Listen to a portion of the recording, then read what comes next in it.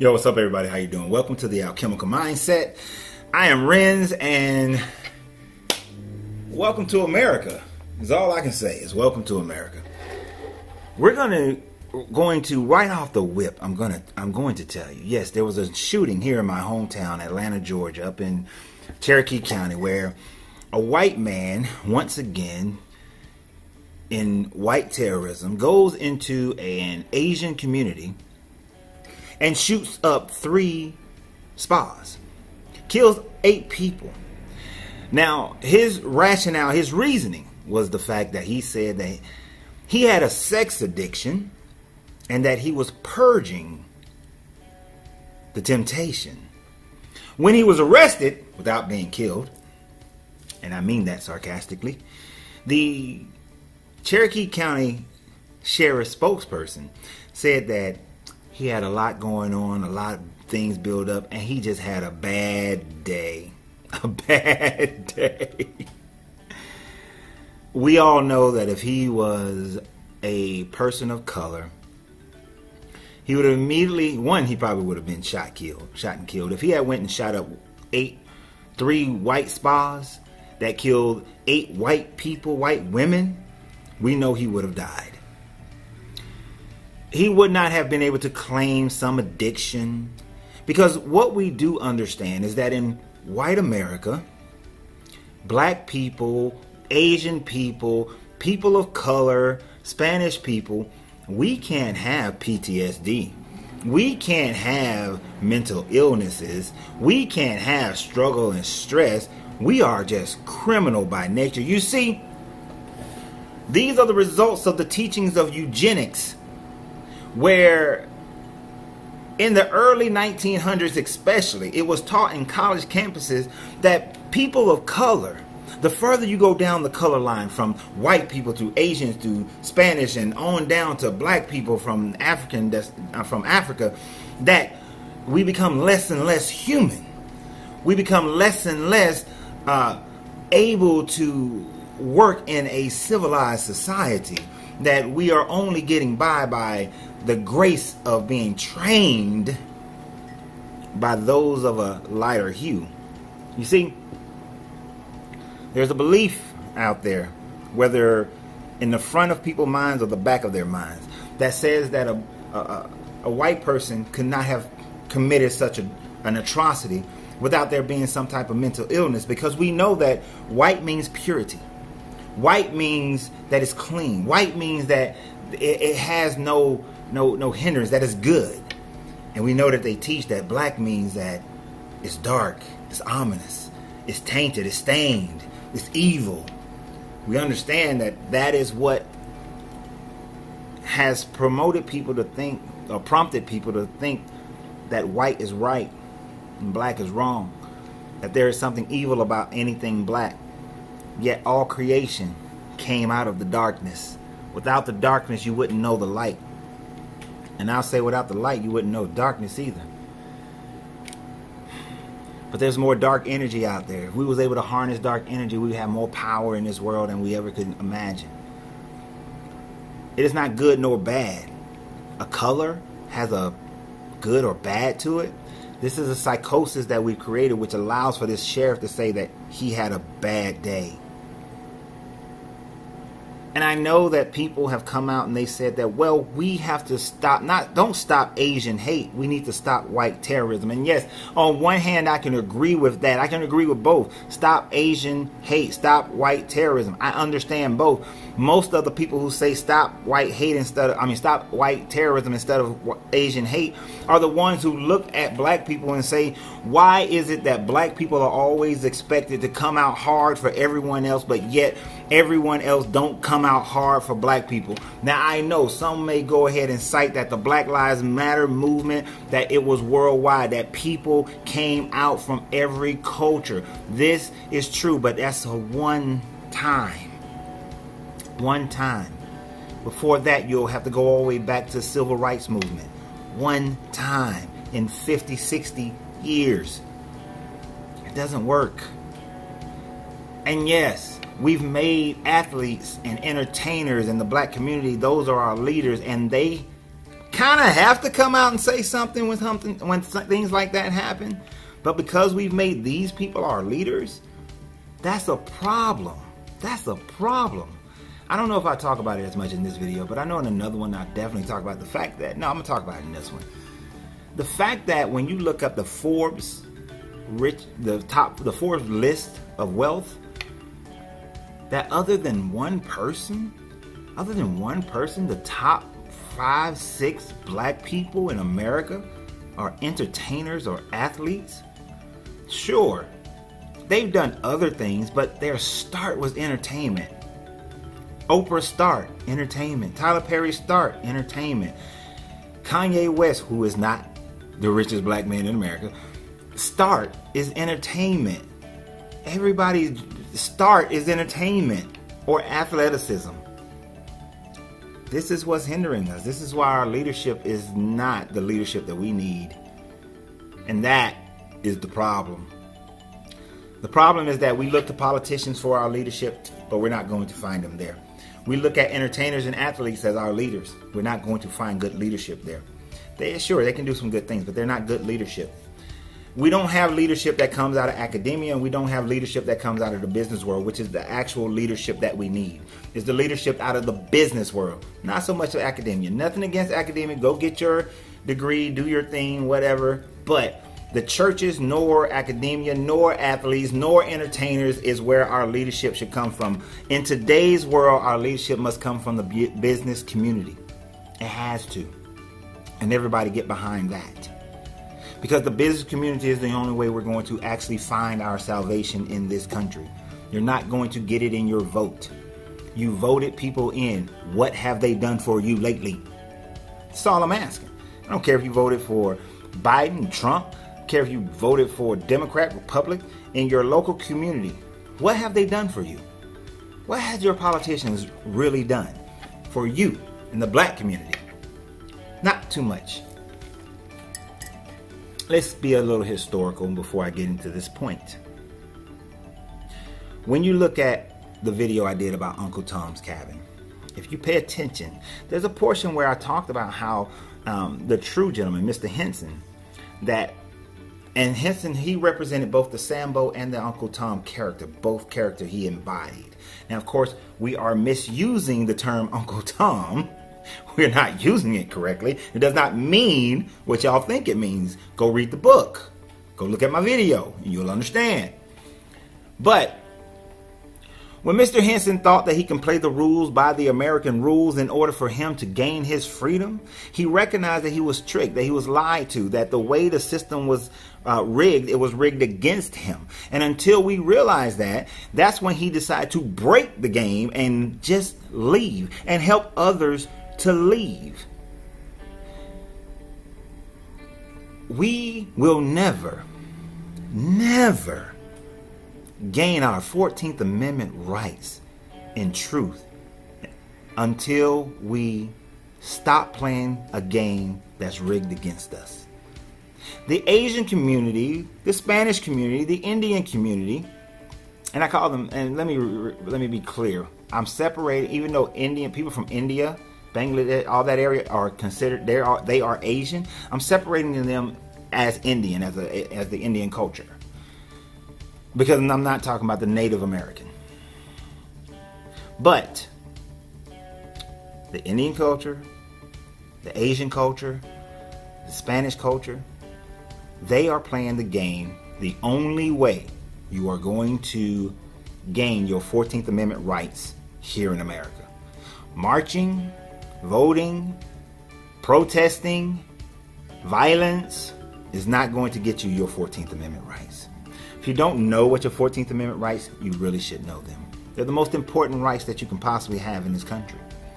The 14th Amendment basically guarantees you as a person, didn't say citizen, as a person in the jurisdiction of America, meaning you are in the land of America, of the United States that every person is guaranteed equal rights and protection under the law. That you're guaranteed due process under the law. But we know we don't get this. We don't get equal protection.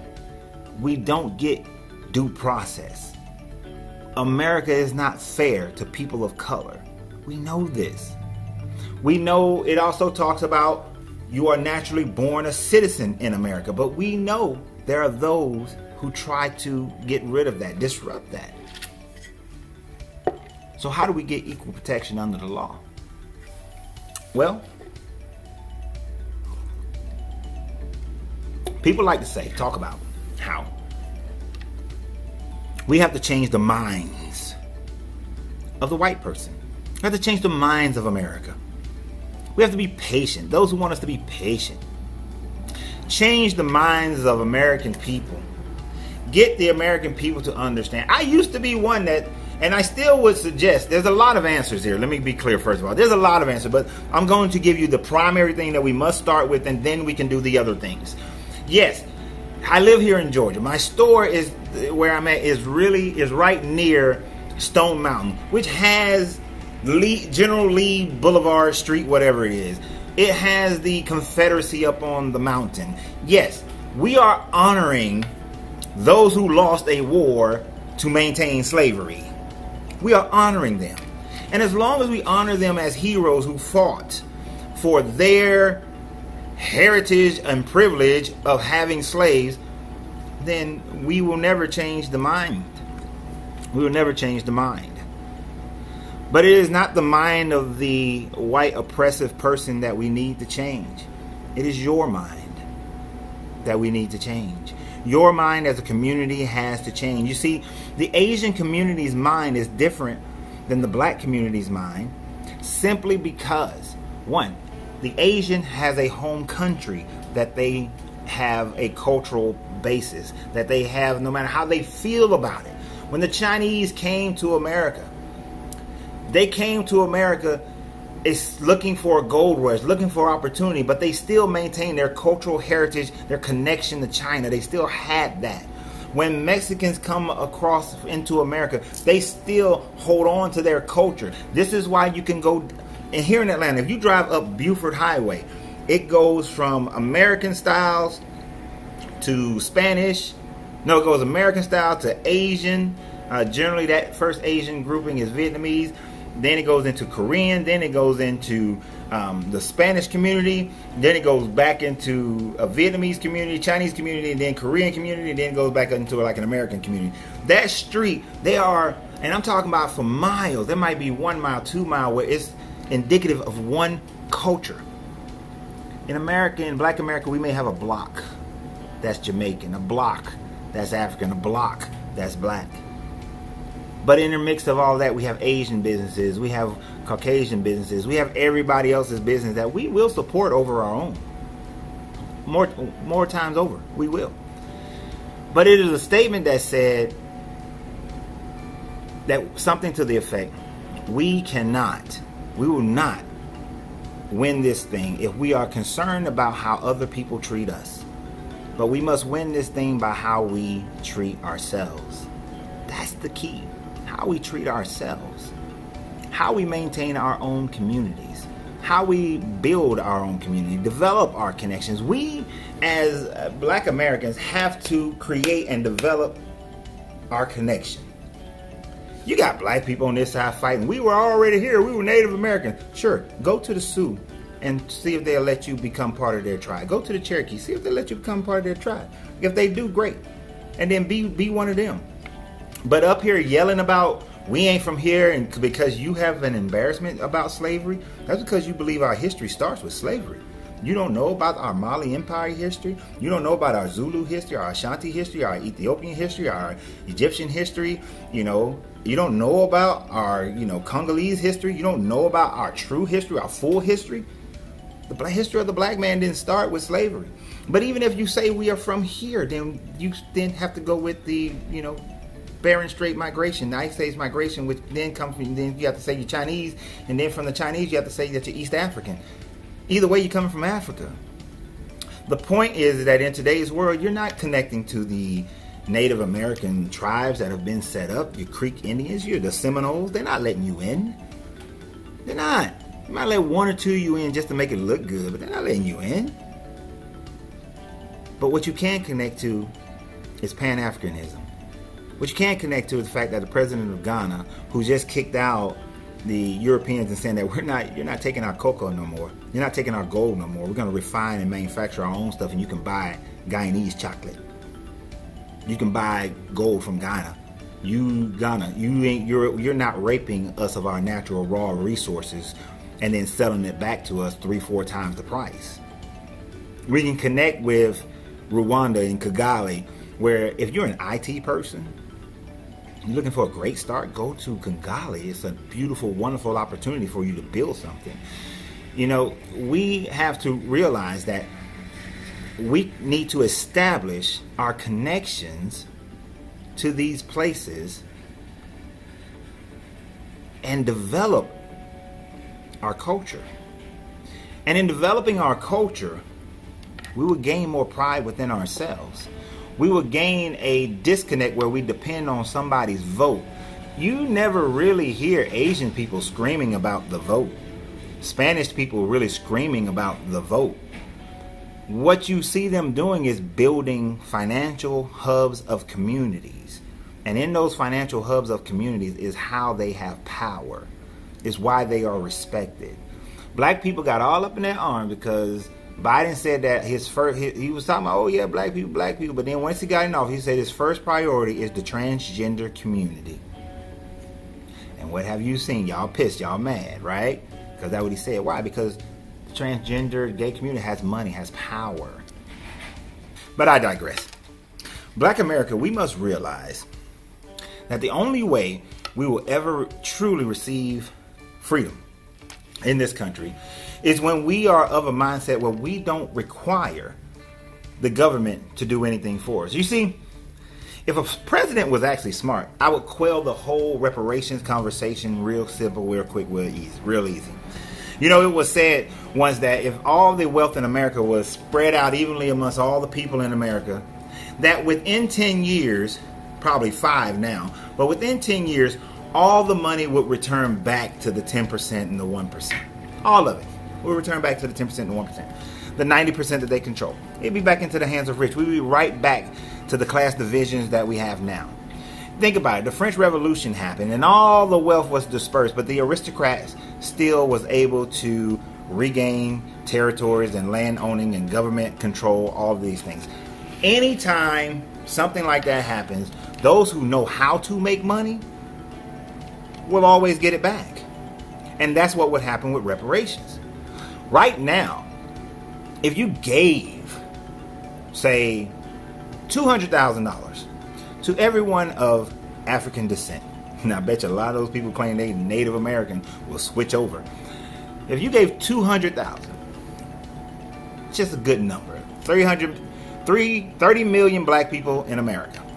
If you gave each household, each adult, 200,000, I guarantee that only 10% would maintain and create wealth based on that 200,000. If you gave them three, if you gave all of us 300, 400, 500,000, 500,000 for 30 million people will probably bankrupt the government. But if you did 200,000, which will probably still hinder the government for a while, let's say we go into a recession, but only 10% of those people of the people who receive that money would actually go and buy like a house that they can still maintain. Some will buy houses paid for outright. Most who buy a home will say I got a 200,000 down payment, I'm going to go buy me a $700,000 home so now I got a mortgage that's 500,000, but yet their job really can't afford that that amount. You really can't. But they'll go do it. And they'll lose the house or the next generation will lose the house simply because they do not know how to, they didn't teach how to maintain and build wealth. A lot of people will go out and buy cars, something that has no value after it's purchased. The value decreases after it's purchased. Many will go buy clothes, many will pay bills, many will go party, many will go buy stuff, a brand name, this and that, just so that they can have it most people will waste the money and it'll be right back into the hands of the Gucci's, the hands of the banks, the hands of the realtors, the hands of the uh, Maserati dealerships. It'll go right back into the hands of those who are already wealthy. And then after it's given, Black America can't scream reparations ever again. Ever again. For the rest of the history of America, you can't say it. You can't claim it. You can't scream for it. So now, whose fault is it if you don't rise up? Well, it's your fault. So I say this. Yes, after the Civil War and the 13th Amendment that freed all the slaves in America, for the next four years, black Americans thrived. The former slaves thrived. They took over, they owned land, they owned homes, they owned businesses. They they took leadership positions in in the government. Yes, they did. But then Southern Reconstruction became Southern Deconstruction. Movies like Birth of a Nation, the white one, uh, inspired white people in the South to fight a different kind of war. In the same sense that after World War II, the Japanese said that they are now fighting, slight interruption, but the Japanese America, the Japanese said that the war is not over. They began to fight an economic war against America.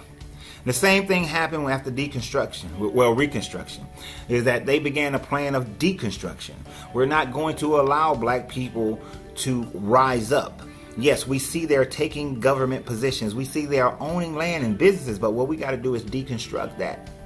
We cannot allow them to gain pride. We cannot allow them to gain position. So deconstruction began. It began with lynchings, it began with burnings, it began with bombing of communities. And it continued up to the Jim, and it turned into Jim Crow. The 14th Amendment was in place, and we were supposed to have citizenship. But then Jim Crow. And with Jim Crow, with the uh, other acts that prevented the Chinese from being able to grow in America, black people were deconstructed. We were told that our history had no pride. We were told that our history started in slavery. We were told that we, we, eugenics came out, and we were told that black people are subhuman, that they they don't have the capabilities to become smarter. We were denied education. We were denied opportunities, and things were not fair and equal. They were very unequal. And we created within our own communities our own deconstruction. We allow entertainers and athletes to become our leaders. We allow for a horrible term like nigga to become part of our lexicon that describes us in a friendly manner.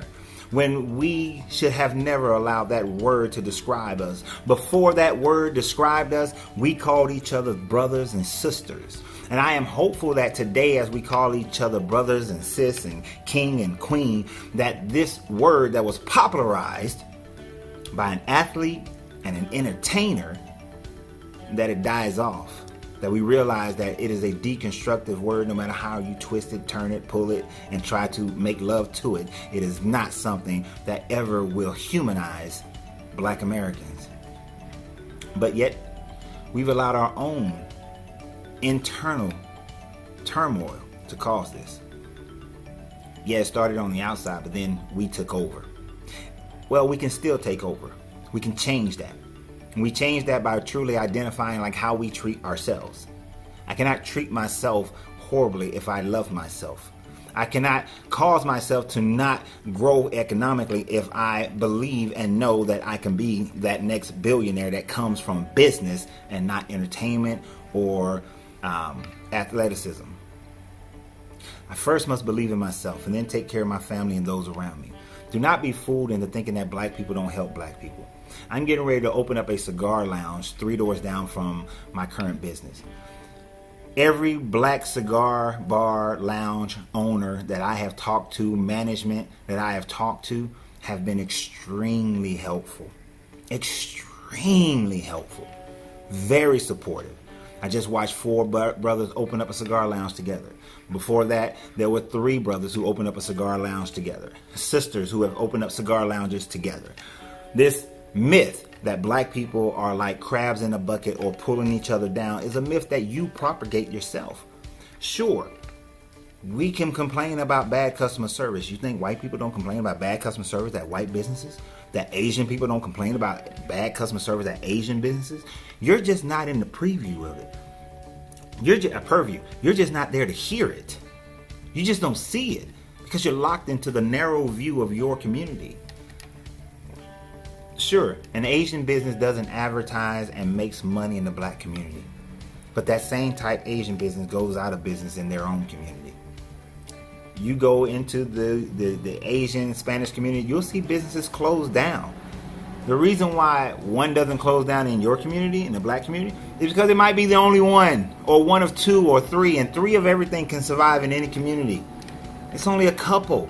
But when you go into their community and there's 15, 20 Chinese restaurants, 15, 20 sushi bars, 15, 20 taquerias. Guess what? A lot of them are going out of business. Just like in your community, a lot of soul food restaurants may go out of business because there's too many. A lot of barbershops may go out of business because there's too many. A lot of salons may go out of business because there's too many. You gotta know, you gotta understand how business works. And when we understand how business works, and we start doing business in America, we start doing business in Africa, we start doing business in the Caribbean, we start doing business in South America, we start doing business with other black countries that are controlled by black people, we will become less and less dependent upon what America thinks of and thinks about us. And then at that point, when we don't care what they think, we may start to take control. We begin to buy our communities. We begin to own all the businesses in our community. We begin to truly have the 14th Amendment rights of every person who is protected and has a right of due process because now the police force has to listen to you in that community. The, the politician has to listen to you in that community and do what's best for you and not someone else. The sooner we realize this, then we'll have our solution. Stop caring about how somebody else thinks about us or treats us. We have to first demand the respect from ourselves. When we demand that respect from ourselves and then act it out in wisdom, we will then be able to grow and define who we are, what we are about, and how we will be treated because we'll have the power to do so. And that's what it that's what matters. That's the solution. And of course, all the other things will come after that. They'll come after that. Other people's minds will change after that. The laws will be, uh, hell, they don't need to be added. The laws will just be enforced after that. After that, we will then have equality. And white America, we're not trying to take anything from you. We just want the same thing you got. The same equal opportunity to prove how unequal we are, the same equal opportunity of due process, the same equal opportunity of being treated like a person. We just want the same thing that you got. The same thing. And an opportunity to build our families and take care of them. It's the same thing. And if you are against that, then maybe eugenics is in reverse. And maybe you are not as human as you think you are. Y'all have a great day. Remember, you have to free yourself to be yourself because your greatness is non negotiable. Good vibrations, good journey.